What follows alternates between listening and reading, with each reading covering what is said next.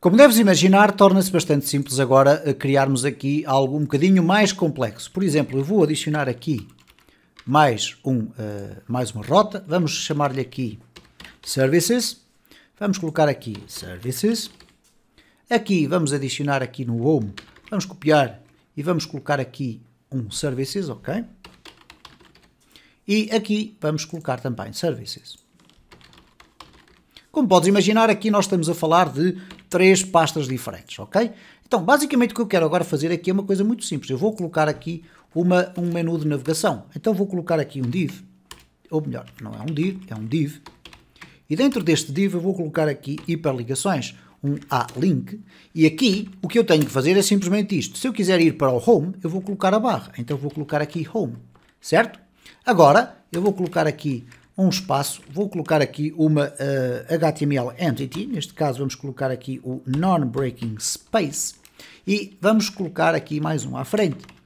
Agora vou triplicar isto, posso remover esta que aqui está, vamos colocar aqui o about e agora vamos colocar aqui o services.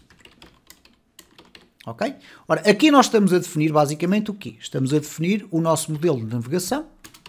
Vamos colocar aqui o about e temos a definir aqui as rotas. As rotas que depois vão ser, obviamente, interpretadas aqui pelo nosso app.js desta forma, certo?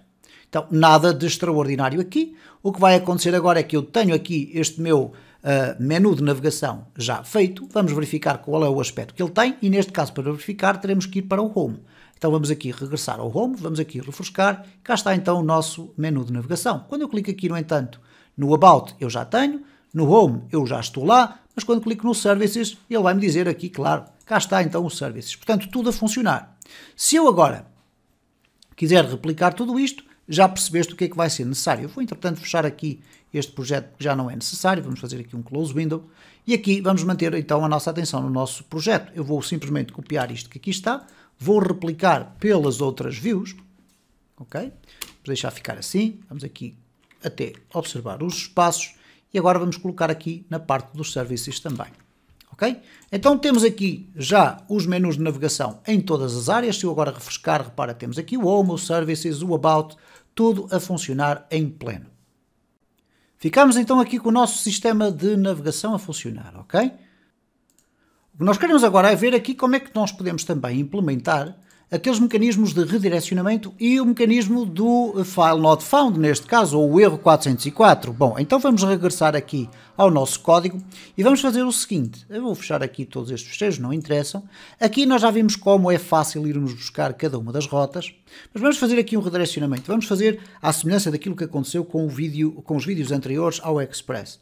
Se eu fizer a tentativa de ir buscar aqui um get para uma rota que é o acerca underscore de, ou vamos colocar aqui com hífen, acerca de, eu não vou querer definir aqui uma uh, página especial para, uh, este, uh, para este endereço. Eu poderia, quando muito, colocar aqui um rec e um res e depois usar exatamente aqui a mesma implementação que aqui tenho. No entanto, se eu tiver uma implementação bastante mais extensa aqui, seria uh, duplicação de código que não faz qualquer sentido. Então vamos fazer aqui um redirecionamento. E é muito fácil fazer um redirecionamento. Faz aqui um res, pontos redirect, e vais redirecionar para o about. Ok? Simplesmente assim. Não necessitas de colocar mais código nenhum. Então, desta forma, se ao analisar aqui as nossas rotas, o Express detectar que nós escrevemos uma rota do tipo acerca de, ele vai redirecionar para a rota about e vai voltar para ali. Volta a fazer um request e vai para aquele local. Vamos verificar se é isso que acontece. Temos aqui o home, o services, o about. Vamos aqui para o services e vamos trocar isto para acerca de. Vamos colocar aqui assim. Se eu colocar aqui, repara como ele automaticamente redirecionou. O acerca de desapareceu ali da minha query string e passou a aparecer ali o about. Há um outro aspecto também que é importante e que nós já tínhamos implementado nos vídeos anteriores e que é o erro 404. Isto é, quando nenhuma destas rotas foi detectada, o que é que nós vamos responder? Então vamos criar aqui o nosso erro 404. Eu vou duplicar aqui, vou colocar aqui um 404 e aqui no 404 vamos colocar aqui simplesmente um erro.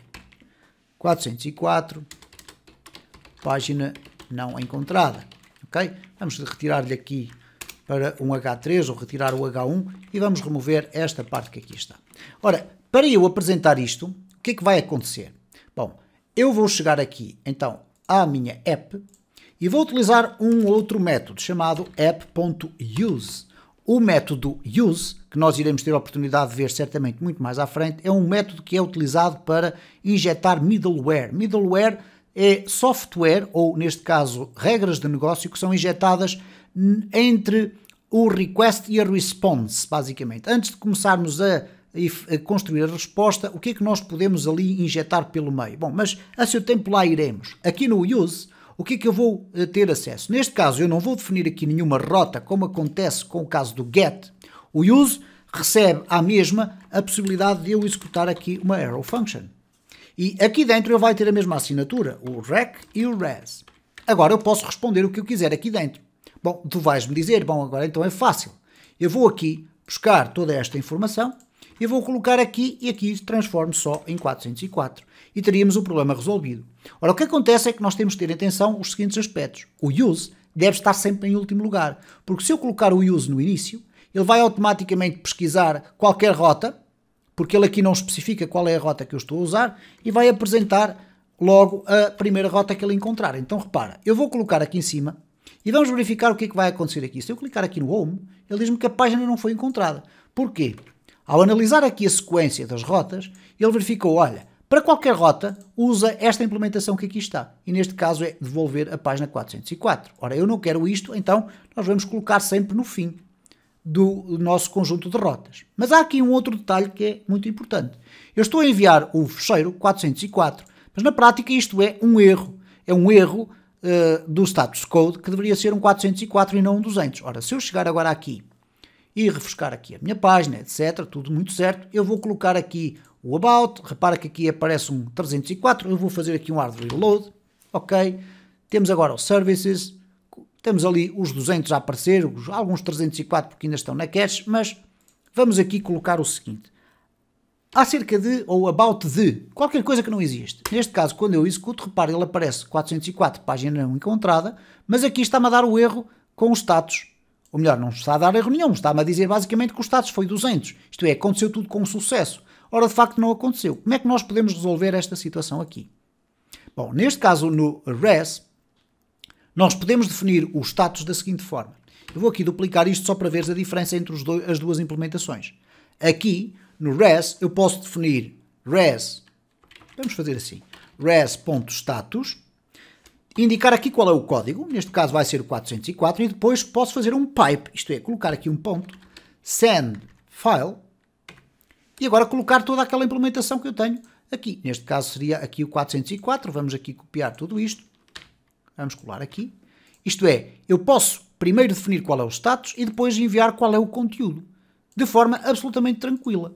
Então agora, se eu chegar aqui, vamos voltar aqui atrás, vamos aqui ao Home, ao Services, etc. Tudo muito certo. Vou aqui inclusive fechar e vamos tentar abrir novamente, porque ali os 304 eu penso que estão relacionados com a cache, localhost, vamos aqui pressionar o F12, vamos aqui fazer um Home, Aqui continua a aparecer o 304, Ctrl Shift R para fazer um, re, um, reload, hard reload. Temos aqui o 200, temos aqui o services, Ctrl Shift R vai para o 200 e portanto começamos a ter aqui às vezes alguns problemas relacionados com estes códigos, mas que nós já vimos ali que podemos forçar para indicar qual é o, o status code. Mas agora, se eu colocar aqui o about de, repara o que é que acontece, ele já me vai aparecer o página não encontrada e aparece-me aqui o status 404. Vamos aqui apenas testar, forçar o envio dos status também.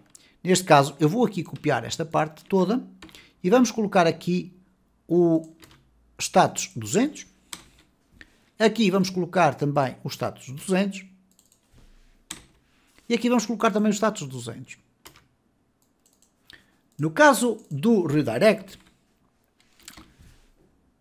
nós vamos colocar aqui um 302 ou um 301, por exemplo. Vamos colocar aqui um 302. Ok? Vamos verificar então aqui o nosso sistema, deixar que ele faça um restart. Vamos aqui voltar atrás, refrescar tudo isto.